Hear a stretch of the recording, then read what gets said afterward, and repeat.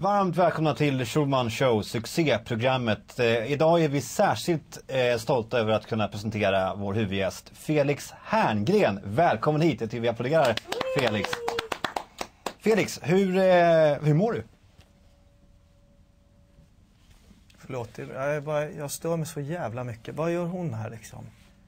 Är- Den här jävla produktionsfittan som står här och glor på mig som en jävla apa i en bur.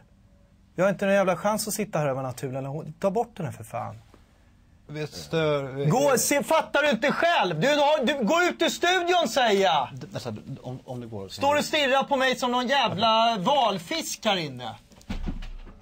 Vad har ni hittat henne liksom? Sådär ja. Är, är det okej att vi... Är det okej? Tror, tror hon att det är okej att ställa sig bredvid kameran och stirra på mig som en jävla apa i en bur? Jag har väl något jävla privatliv också? Jag känner mig för fan påhoppad här. Okej. Ska Ja, men vi- jag blir så jävla Ja, trött när det är Ja, så här men- tidningswebb tv Hon, hon är borta nu. Ja, det är en jävla amatörfest det här. Hon kan väl gå ner i tryckeriet och vaxa f***an eller någonting. Inte sitta här och Nej, psyka folk. Nej, okej.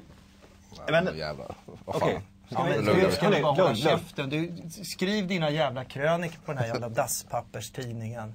Så kan väl vi göra TV som kan göra TV. Sätt igång nu för fan. Jag ska hämta ungarna Ja, sen. ska vi köra då? Ja, jä- jä- jättegärna. Kör vi igen. Varsågod.